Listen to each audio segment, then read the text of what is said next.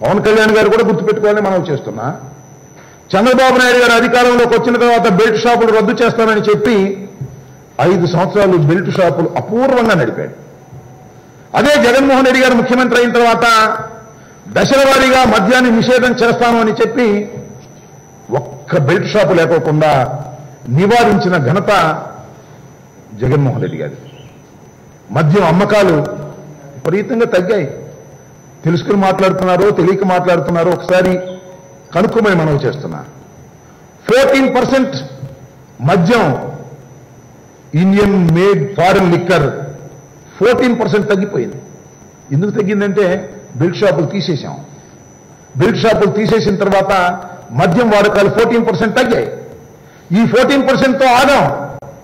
Next year twenty eight percent చేస్తాం fifty percent చేస్తాం ten పర్సెంట్కి కుదించేటటువంటి ఒక కార్యక్రమాన్ని దశల వారీగా మేము చేస్తూ ఉంటే మరి చంద్రబాబు నాయుడు గారు అంటే ప్రధాన అపోజిషన్ కాబట్టి ఆయన చేతి నుంచి మేము పవర్ తీసుకున్నాం కాబట్టి మమ్మల్ని క్రిటిసైజ్ పెద్దానికి క్రిటిసైజ్ చేసేటటువంటి కార్యక్రమం చేస్తున్నాడు. అయ్యా పవన్ కళ్యాణ్ గారు మీరెందుకు మమ్మల్ని క్రిటిసైజ్ చేస్తున్నారు? మేము ఈ విధంగా ఎవ్వరూ చేయలేనటువంటి ఒక సాహసోత సాహసోపేతమైనటువంటి నిర్ణయాన్ని చేసి దాన్ని అమలు చేసేటటువంటి కార్యక్రమం చేస్తుంటే మమ్మల్ని పొగడపోతే పొగడిపోయారు. ఈ రకంగా మాట్లాడడం సమంజసమేనా నేను అడుగుతా ఉన్నా. మీరు పారదర్శకత గురించి సమాజం గురించి బయటకు వచ్చినప్పుడల్లా ఉపన్యాసాలు చెప్తారు. నేను నాకు తెలియకడుగుతున్నాను ఒక మాట. మీరు కూడా ఆలోచన చేయమని ప్రజలను కోరుతున్నా. ఒక రాజకీయ పార్టీ పుట్టింది అంటే ఆ రాజకీయ పార్టీ పుట్టి పెరిగి ఏం చేస్తుంది? పుట్టి పెరిగి ప్రజల చెంతకు వెళ్ళి తన సిద్ధాంతాన్ని ప్రజలకు చెప్పి ఆ దేశంలోనో ఆ సమాజంలోనో అధికారంలోకి వచ్చి ప్రజలకు సేవ చేయాలని అనుకుంటుంది. అది ఏదైనా ఒక రాజకీయ పార్టీ అనుకునేటువంటి లక్షణం. కానీ చిత్రమైన విషయం ఏంటంటే ఈ జనసేన అనే రాజకీయ పార్టీ ఏమనుకుంటుందంటే ఎవరినో అధికారంలోకి తీసుకురావడానికి ఎవరినో ఓడించడానికి పుట్టి పెరిగి అదే బాటలో పోతూ ఉంటే ఎవరు మిమ్మల్ని లెక్క చేస్తారు చెప్పండి?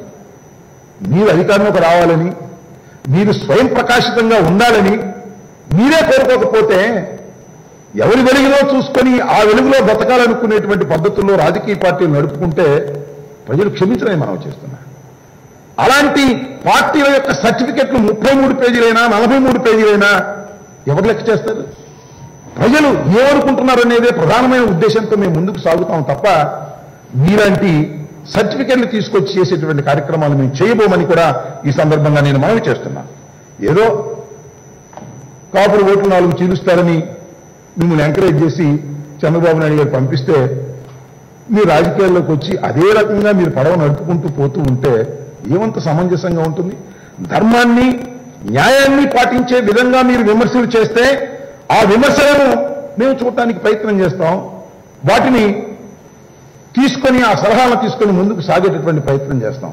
అంతే తప్ప ఇలాంటి చౌకబారు విమర్శలు చేసి మమ్మల్ని ఏదో చేయాలని ప్రయత్నం చేస్తే ప్రజలు క్షమించరని కూడా ఈ సందర్భంగా నేను మనవి చేస్తున్నాను. మేము ఇంతకుముందు గతంలో కూడా చెప్పాం. రావణాసుడికి పది తలకాయలు ఉన్నట్టుగా తెలుగుదేశానికి చంద్రబాబు నాయుడు గారికి కూడా పది తలలు ఉన్నాయి. అవన్నీ మాట్లాడుతున్నాయి ఇవాళ. ఒక్క పది వంద రోజులు అధికారంలో లేకపోతే చంద్రబాబు నాయుడు గారు ఏమిటి అలా గుడి గుడికి పోతున్నా నాకు అర్థం కాలేదు. వంద రోజులు అధికారంలో లేకపోయేసరికి బెంబేలెట్టిపోతున్నాడు గందరగోళపడిపోతున్నారు నాకు అర్థం కానటువంటి అంశం. నేను అడుగుతా ఉన్నా ఏం చంద్రబాబు నాయుడు గారు? పల్లెల్లో ఏదో ఘోరాలు జరిగిపోతున్నాయని మన చెలో ఆత్మకూర అనే కార్యక్రమాన్ని పెట్టారు. సిగ్గేం లేదా మీకు? ఒక డట్టి పాలిటిక్స్ ఆడుతున్నారు ఇవాళ మీరు రాష్ట్రంలో. పలనాడులో ఏ విధమైనటువంటి ఫ్యాక్షనిజము లేదు ఇక్కడ. చిన్న చిన్న గొడవలు ఏమైనా ఉంటే ఉండొచ్చు. కేసులు పెట్టుకుంటే పెట్టుకోవచ్చు. దాన్ని పట్టుకొని మీకు అధికారం పోయింది కదా అనేటువంటి దుఃఖతో జగన్మోహన్ రెడ్డి గారి మీద బురదలాడనే కార్యక్రమంలోకి మీరు పెడుతున్నారు పులివెందుల పంచాయతీ అట. ఒకటికి రెండు సార్లు రెండుకి మూడు సార్లు అంటే నిజంగానే జగన్మోహన్ రెడ్డి గారు పులివెందుల పంచాయతీకి చేస్తున్నారని ప్రజలు నమ్ముతారని మీరు భావిస్తున్నారు. నేను మనవి చేస్తున్నా జగన్మోహన్ రెడ్డి గారు కానీ వైఎస్ఆర్ కాంగ్రెస్ పార్టీ కానీ ఈ రాష్ట్రంలో గ్రూపు తగాదాలు పెట్టి రాజకీయం చేయాలని అనుకోవడం లేదు. ఈ రాష్ట్రంలో స్వచ్ఛమైన పరిపాలన చేయడం ద్వారా నీతివంతమైన పరిపాలన చేయడం ద్వారా ప్రజలకు రక్షణగా ఉండేటటువంటి ఒక మంచి వ్యవస్థను ఏర్పాటు చేయడం ద్వారా రాజకీయాలు మేము చేయాలని అనుకుంటున్నాను తప్ప పోలీస్ వ్యవస్థను ఉపయోగించి వాణితో కేసి పోలీస్ వ్యవస్థను ఉపయోగించి దీనితో కేసి అక్కడ కమిషన్ తీసుకుని ఇక్కడ కమిషన్ తీసుకుని బాగుపడాలనేటువంటి ఉద్దేశంలో మేము చేసినట్టుగా చేయడానికి వైఎస్ఆర్ కాంగ్రెస్ పార్టీ సిద్ధంగా లేదని మనం చేస్తున్నాం. నేను ఒకటి అడుగుతా ఉన్నా చంద్రబాబు నాయుడు గారు కోడెల శివప్రసాద్ గారు. మీరు టిక్కెట్ ఇచ్చారు మీరు గెలిపించారు స్పీకర్గా మీరు ఆయన అపాయింట్ చేశారు. ఒక స్పీకర్ అసెంబ్లీ యొక్క ఫర్నిచర్ని తీసుకువెళ్ళి ఇంట్లో పెట్టుకుంటే పోలీసులు వెళ్ళి అసెంబ్లీ స్టాఫ్ వెళ్ళి రికవర్ చేసుకొని తీసుకొస్తే మీకు సిగ్గు అనిపించడం లేదా? కోడెల శివప్రసాద్కు మాత్రమే సిగ్గుపడాలా? ఇది చూసి కోడెల శివప్రసాద్ గుండె జబ్బు వచ్చిందే? మీకేం రాలేదే? అంటే మీకేం సంబంధం లేదా?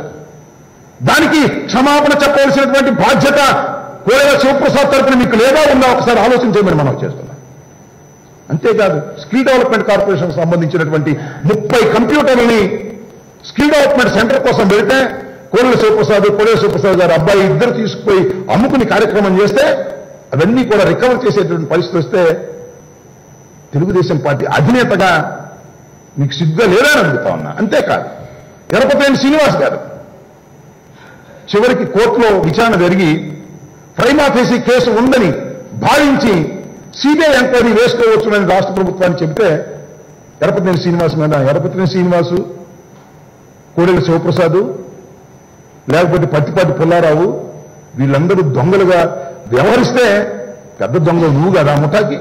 నీకు బాధ్యత లేదా? నేను మనవి చేస్తున్నా నేను కోరుకున్న డిమాండ్ చేస్తున్నా చంద్రబాబు నాయుడు గారిని. ఒక పార్టీ అధ్యక్షుడిగా ఈ దొంగల ముఠా చేసినటువంటి ఘోరానికి క్షమాపణ చెప్పవలసినటువంటి బాధ్యత నీకు ఉన్నది కోడెల కోడెల సూప్రసాద్ గారి బదులు ఎలపతని శ్రీనివాస్ బదులు అదేవిధంగా ఈ దొంగల బదులు నువ్వు క్షమాపణ చెప్పకోకుండా పల్నాడు గురించి మాట్లాడుతావని నాకు అర్థం కాదు. పల్నాడు గురించి మాట్లాడే నైతిక హక్కు మాజీ ముఖ్యమంత్రి ప్రస్తుత ప్రధాన ప్రతిపక్ష నాయకుడు చంద్రబాబు నాయుడు గారికి లేదని మనం చేస్తున్నా? పల్నాడులో అరాచకాన్ని సృష్టించింది మీరు. పల్నాడులో అవినీతిని సృష్టించింది మీరు. ఈ దేశాన్ని దోచుకున్నది మీరు. దోచుకుని దుంప దుంపలేదా నాకు అర్థం కాలేదు. వంద రోజుల పాటు దోచుకోలేకపోయేటప్పటికీ నీకు నీ కాంట్రాక్టర్లకి పిచ్చెక్కిపోయి ఏదేదో గందరగోళం చేసేటటువంటి కార్యక్రమాలు చేస్తున్నారు. ఇవాళ నేను మనవి చేస్తున్నా. చిత్తశుద్ధితో మేము పరిపాలన చేస్తున్నాం జగన్మోహన్ రెడ్డి గారు. అవినీతి రహితమైన పరిపాలన కావాలని మేము కోరుకుంటున్నాం. మా టైంలో అవినీతి జరగకూడదని మేము ఘంటాపదంగా చెప్తున్నాం. మీ టైంలో జరిగిన అవినీతిని బయటకు తీస్తామని కూడా చెప్తున్నాం. అది చూసి భయపడిపోతున్నారు. అమ్మో వీళ్ళు ఉన్న అవినీతి చేయకపోతే చేయిపోయారు మనకేం పర్లేదు కానీ మా టైంలో జరిగిన అవినీతిని కూడా బయటకు తీస్తారేమోననేటువంటి భయంతో ఇవాళ చంద్రబాబు నాయుడు గారు వంద రోజుల పరిపాలన దారుణంగా ఉంది అన్యాయంగా ఉంది అక్రమంగా ఉంది అవినీతి అది అవినీతిగా ఉంది. ఎక్కడ అవినీతి ఉందండి? నాకు అర్థంగా జే ట్యాక్సా జగన్మోహన్ రెడ్డి గారు ట్యాక్స్ వేశారా అరే సిమెంట్ బస్తాల మీద ట్యాక్స్ వసూలు చేశారా జగన్మోహన్ రెడ్డి గారు? మీకున్న అలవాట్లు జగన్మోహన్ రెడ్డి గారికి అంటగట్టేటువంటి ప్రయత్నం చేస్తున్నారా? జగన్మోహన్ రెడ్డి గారు సిమెంట్ బస్తాలు వసూలు చేశారని ఇసుక మాఫియాలో ఎమ్మెల్యేలు దోచుకున్నారని ఒక్క పైసా కూడా దోచుకునేటువంటి కార్యక్రమం ఎమ్మెల్యేలు చేయలేదు అని కూడా ఈ సందర్భంగా నేను ఘంటాపదంగా చెప్పదలుచుకున్నా ధైర్యంగా చెప్పదలుచుకున్నా. మీ ఇష్టం వచ్చినట్టు మాట్లాడుతూ ఉన్నారు.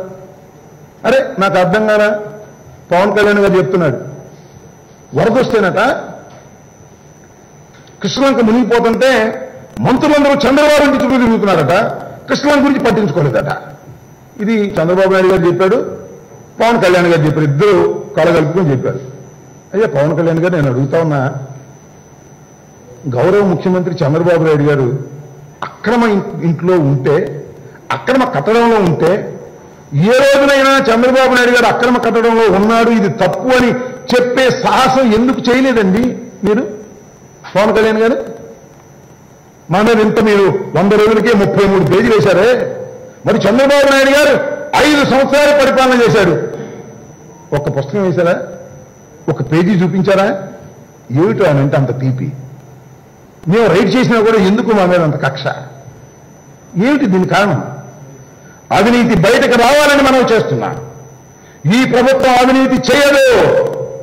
అవినీతి చేసినటువంటి ఎవరినైనా బయటకు తీసుకొచ్చేటటువంటి ప్రయత్నం మేము చేస్తున్నాము. అదే మీ భయం ఇవాళ. దానికోసం మీరు కంగారు ఎట్టిపోతూ ఉన్నారు. ఇదో పేద ఆర్టిస్టులు పేద ఆర్టిస్టులు మొన్నటి దాకా కొంతమంది అరెస్ట్ చేశారు. ఎవరు అంటున్నారు నిజమైన పేద ఆర్టిస్ట్ ఎవరన్నా ఉన్నారంటే పవన్ కళ్యాణ్ గారు అని. ఆయన బ్రహ్మాండంగా యాక్ట్ చేస్తున్నాడు చంద్రబాబు నాయుడు గారి తరపున అనేటువంటి మాట. మీరు ఒకసారి బయటకు వెళ్ళి వినని చెప్తారు. కేవలం మీరు మీ చుట్టూ ఉన్నటువంటి మనుషులతో కాదు మాట్లాడవలసింది.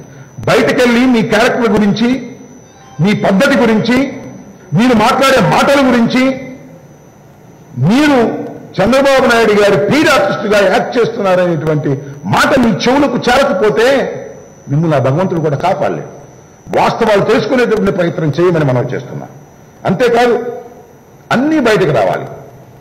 కాంట్రాక్టులు ఎవరైతే కమిషన్లు ఇచ్చి చంద్రబాబు నాయుడు గారిని పోషించి ఎక్కువ ఖరీదుల కాంట్రాక్టులు తీసుకున్నారు అన్యాయంగా అవి బయటకు రావాలి బయటకు తీసేటటువంటి ప్రయత్నం వైఎస్ఆర్ కాంగ్రెస్ పార్టీ చేస్తుందని మనం చేస్తున్నాం. ఈ చేసే క్రమంలో నాలుగు రోజులు వర్క్లు ఆగిపోవచ్చు. దానికంటే ఆగిపోయింది ఆగిపోయింది అయిపోయింది గందరగోళం అయిపోయింది అభివృద్ధి అంతా శూన్యం అయిపోయింది అనేటువంటి గావకేకలు మీరు పెడుతూ ఉంటే మీకు తానా తందాననే పత్రికలు మళ్ళీ ఇంకో గావకేకలు పెట్టి అభివృద్ధి ఆగిపోయింది అభివృద్ధి ఆగిపోతుంది. కమిషన్ల కోసమే మేము ఆపాము కమిషన్ల కోసమే మేము ఆపాము అనేటువంటి మాటలు మాట్లాడి ఒక బ్రాండ్ చేయాలనే ప్రయత్నం చేస్తున్నారు.